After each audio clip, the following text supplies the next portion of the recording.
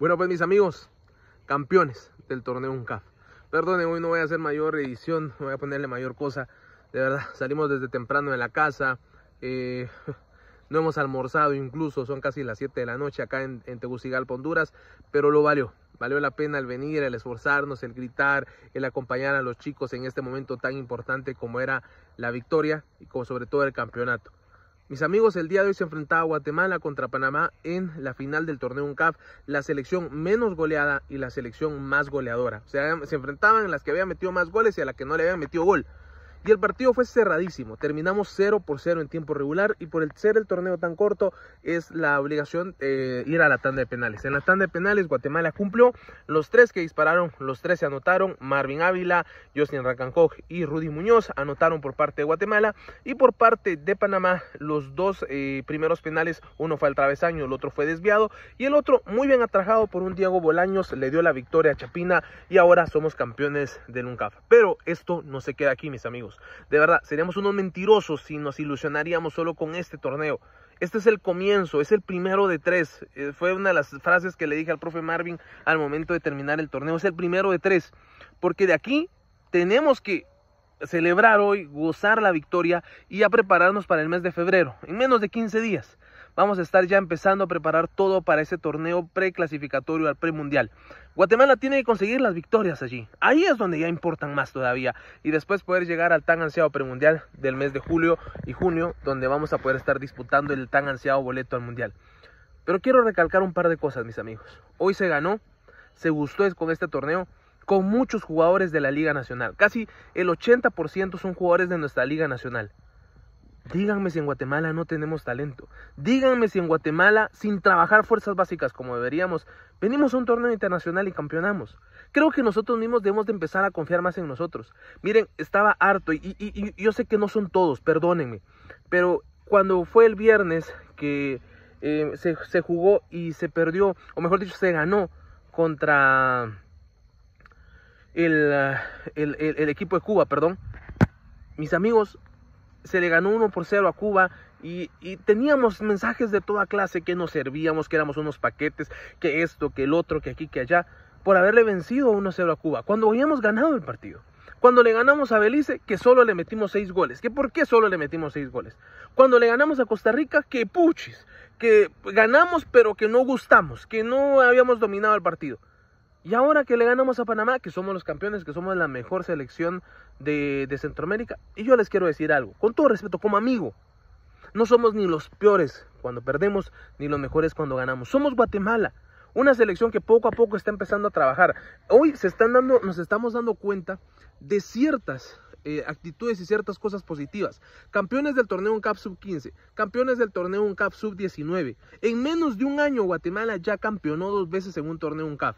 Esto también es un llamado de atención a todos los dirigentes de los equipos y obviamente de la federación a echar más punta, mis amigos, porque tenemos talento, tenemos con qué venir a pelear. Obviamente, algo que yo le decía a los chicos más íntimos con los que más bromeo era que esto solo es el comienzo, que no nos agrandemos, que no nos creamos ya campeones del mundo. Ganamos un campeonato, pero hay que rápidamente levantar la cabeza, luchar porque lo que viene es lo que realmente importa, el boleto al mundial. Esta generación es una generación con mucho talento.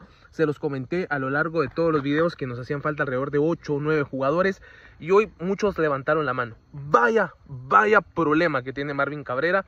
Porque mis amigos, el estar buscando a jugadores ahorita que se va a poder llevar al torneo va a ser complicado. Solo van 20, hijuelas. Y en este torneo muchos levantaron la mano para poder estar allí. Y creo que esa hambre, creo que esa competencia interna es lo que muchas veces nos ha hecho falta.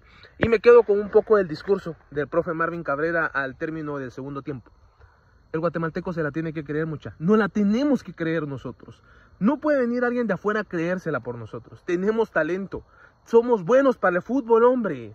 Que estoy harto de escuchar un montón y de leer un montón de comentarios. No, que Guatemala, ¿cuándo va a aprender que no son buenos para el fútbol? Que ahora estamos acá que los que hemos bancado a la selección desde las derrotas hasta las victorias, sabemos lo que cuesta. Así que mis amigos, vamos hombre, vamos Guate, que sí se puede, vamos Guate, que todavía tenemos mucho camino por recorrer. Soy su buen amigo José Ra, le doy gracias a Dios y a todos ustedes por ser parte de esta hermosa familia y sobre todo mis amigos por acompañarnos en este hermoso viaje. Qué bonito. Ojalá que nos acostumbremos a ganar. Que Dios les bendiga. Les envío un enorme y caluroso abrazo y los dejo con la entrevista que le hicimos al profe Marvin Cabrera, ahora el técnico, campeón del UNCAF. Hasta la próxima. Chao. ¡Vamos, carajo! ¿Qué tal, profe? ¿Cómo está? Bien, muy contento, contento por el esfuerzo de los muchachos y sobre todo por el logro obtenido que da muestra de lo que venimos a hacer aquí. Profe, campeones del torneo UNCAF, no se dice todos los días. Sí, muy contento por conseguir este título porque el ganar es un hábito y los muchachos se tienen que acostumbrar a eso. No nada más es llegar y participar y mucha gente ya al llegar a esta final decían que ya habíamos cumplido. No, quitemos esa mentalidad. Los muchachos saben que tienen la capacidad para poderle pelear a cualquiera. Hoy vencimos un rival durísimo como lo es Panamá.